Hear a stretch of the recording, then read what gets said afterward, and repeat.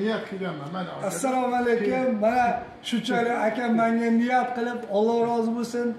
Tan joni sog' bo'lsin umringiz uzoq bo'lsin. Nima niyat qilgansiz alloh taolo niyatingizga yetkazsin shunchalik mani hurmat qilibsiz alloh sizni hurmat qilsin akajon ey rahmat. Sog' bo'ling rahmat rahmat. Alloh rozi bo'lsin. Bo'ldi? Mana bo'ladi.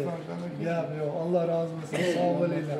rahmat. Mana shunchalik uylariga chaqirishdi. Toshkentga keldik nevaralarini ko'rdik o'zlari yaxshi bo'lishibdi. Allohimga hamd sanolar niyat qilib menga shuni berishibdi. Alloh rozi bo'lsin. Nima niyat qilganmisiz alloh taolo niyatingizni yetkazsin kasb-koringizga umringizga rizqingizga alloh baraka bersin allohim bizni ham shunaqa xursand qildingiz. Alloh sizni yuz barobar ming barobar xursand qilsin tan joningiz sog' bo'lsin umringiz uzoq bo'lsin. Shu narsalarimizni ota onalarimiz ko'rganda xursand bo'ladi yana ham tan jonlar sog' bo'lib umringiz uzoq bo'lib hech ham kasal bo'lmaydi. Allohim shunchalik dard berib o'zi shifosini bersin mana shu nevaralaringizni o'ynatib xursand bo'lib yurganingizga shukur. Borgan sari mani muxlisim ko'payapti. Sizga o'xshagan akalar sizga o'xshagan ukalarni ko'rib xursand bo'lyapman alloh rozi bo'lsin. Nima niyat qilgansiz alloh taolo niyatlaringizga yetkazsin tan joningiz sog' bo'lsin umringiz uzoq bo'lsin allohim hamma xursand bo'lib yuradi alloh bundan ham yaxshisiga rahmat sog' bo'linglar alloh rozi bo'lsin